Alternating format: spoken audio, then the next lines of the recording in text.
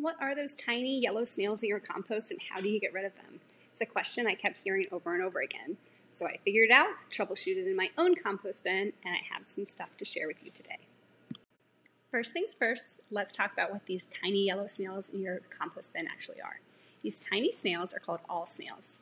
They are tiny little tropical snails that thrive in a wet environment.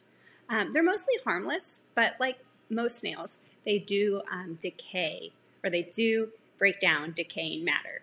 Um, so they're a little bit helpful in your compost bin, but too many of anything is not a good idea.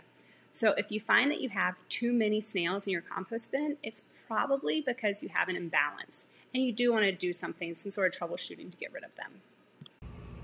The easiest way to troubleshoot awl snails in your compost bin is to dry it out. Just increase the amount of browns, like increase the amount of carbon that you're putting into your compost bin. An easy way to get rid of snails in your compost is to add eggshells and coffee grounds. If drying out your compost or adding eggshells and coffee grinds to your compost does not get rid of your snail problem, you can always try a beer trap.